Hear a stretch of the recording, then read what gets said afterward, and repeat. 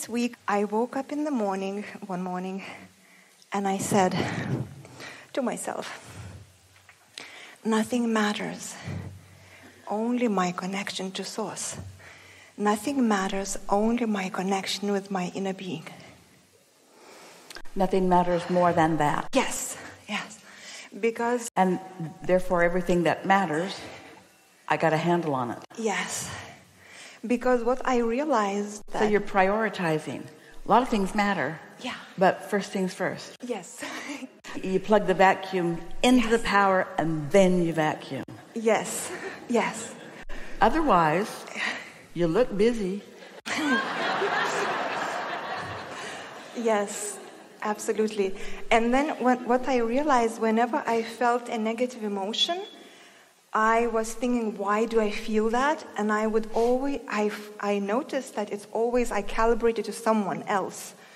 Like I was e- either upset or I was thinking what the other person thinks about me, like the negative emotion. It's good to connect those dots to notice because the emotion is a manifestation. We like to say it this way there are two ways for you to know what your point of attraction is. One is how you're feeling, and the other is what manifested. One's before it manifested, and one's after it manifested, but you can always tell.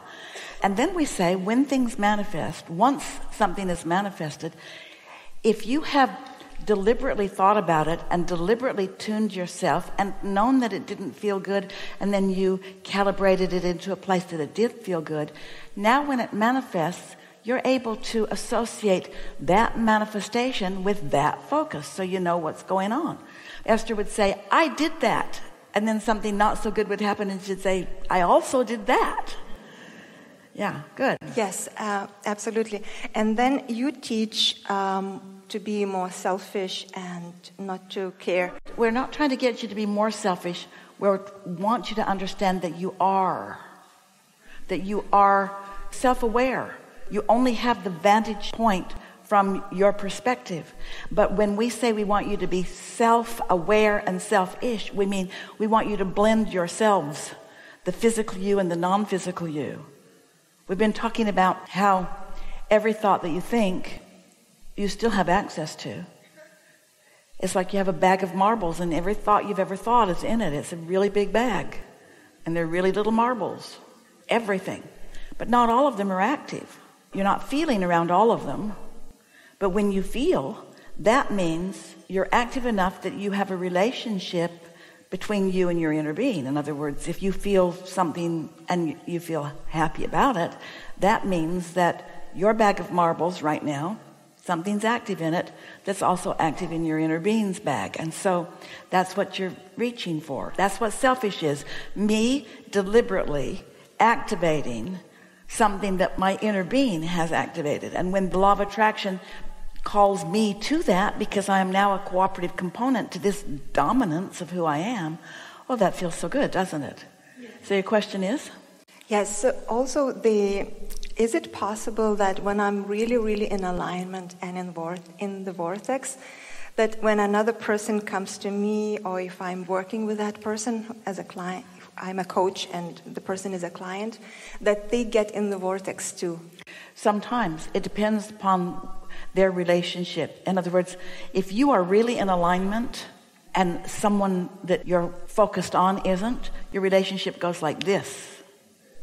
If they're really not in alignment and you really want to be a good coach, so you really want to pay attention to what's going on with them and you join them, then the two of you go off into the bushes together. If you are really in alignment and they want to be, but they're not, but you are, but they're not, and they focus on you and you're not trying to get them to be someplace they're not. So where they're not is not in your vibration. Now you are like their inner being. You are influential. And so there is a high probability that when you are consistently like that, that when you focus on another, they join you. Yes, yes, because my clients who come, like even after decades of therapy, they, they have miracles after one or even a few sessions. They, it's like, it's like, it's, it's indescribable. Well, then you're helping them release resistance. That's good. Yes, Yeah. and also they feel that love for everything instead of hate. Well, love is the opposite of resistance. You're using emotional words in a different way than we do. Emotions are indicators. You could also call emotions manifestations. Your emotions are your first see it, hear it, smell it, taste it, touch it manifestation of alignment or discord. So when you feel an emotion, it's giving you important information. Okay, and okay, one more question is like when you say there is no separation, and sometimes I practice that, like I feel there is no separation. Well, what we mean is you cannot ever really cut yourself off from your inner being. When you feel negative emotion, you've pinched yourself off pretty good, but you're not ever going to separate. Here in this physical body, you could get feeling terrible, and it could get so bad that you just couldn't stay in your physical body anymore, and all of a sudden you'll be in full alignment with no resistance. You can't get away from your inner being. But when you're suffering, you're making a pretty good case to vibrate in a place that your inner being isn't, which is usually because you've been observing physical stuff and trying to follow physical formats that other people have assigned to you without tuning into you. There's a lot of people that are attempting a lot of therapy, and we don't mean it in the strictest sense of therapy, but we mean there's a whole lot of advice out there.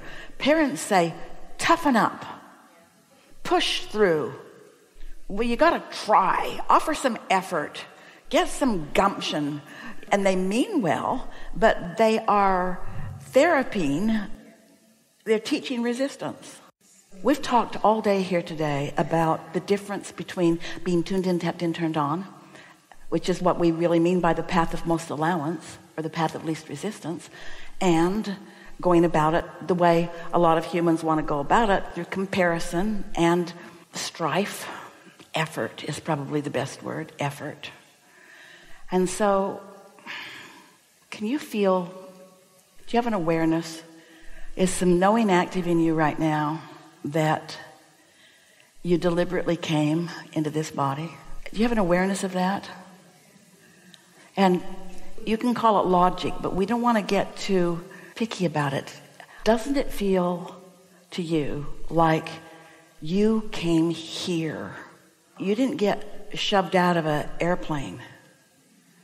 Somebody sent a little video clip to Esther, and this person had changed her mind, and she was not wanting to go, and she was clinging to the walls of the airplane, and the man pushed her out.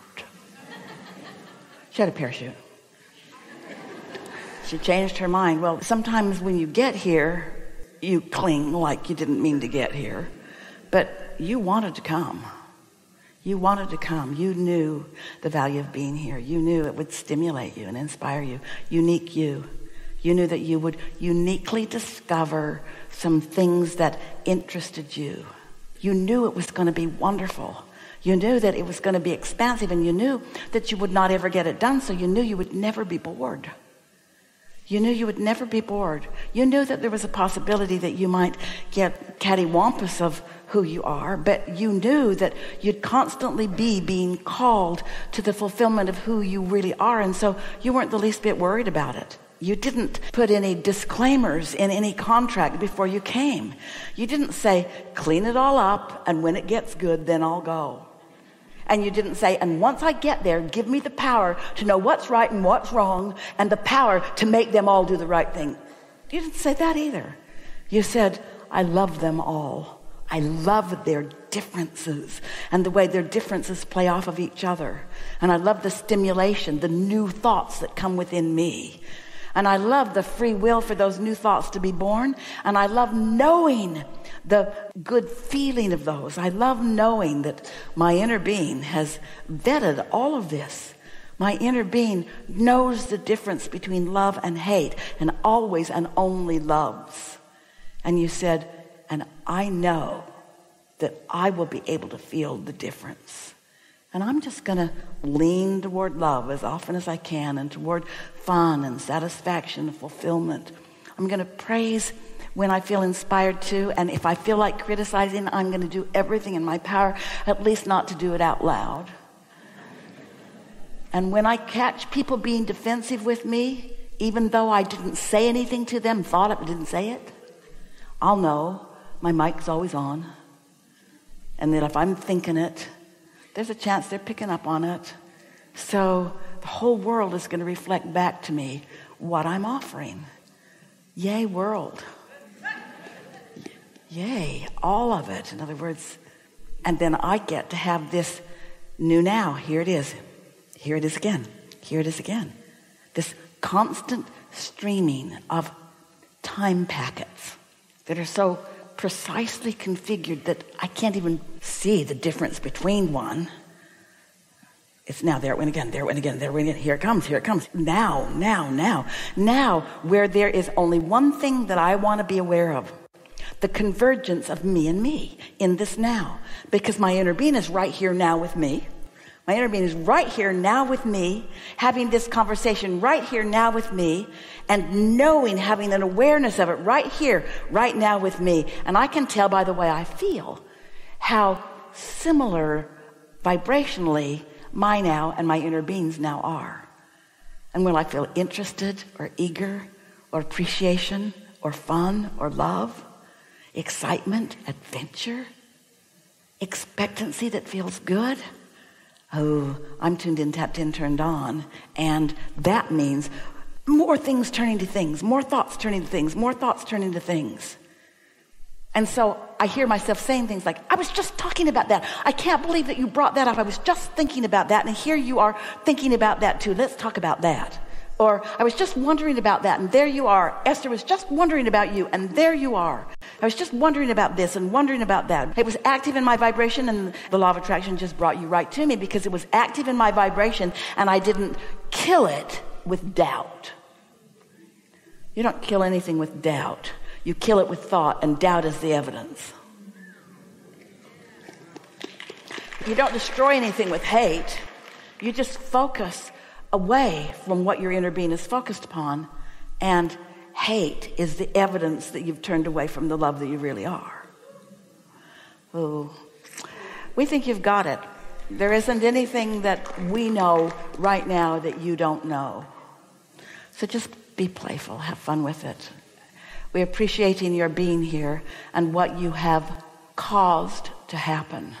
You're important to this world, certainly important to this body of beings. And there is great love here for you. And for now, we are complete. If you like this video, don't forget to subscribe and see you in the next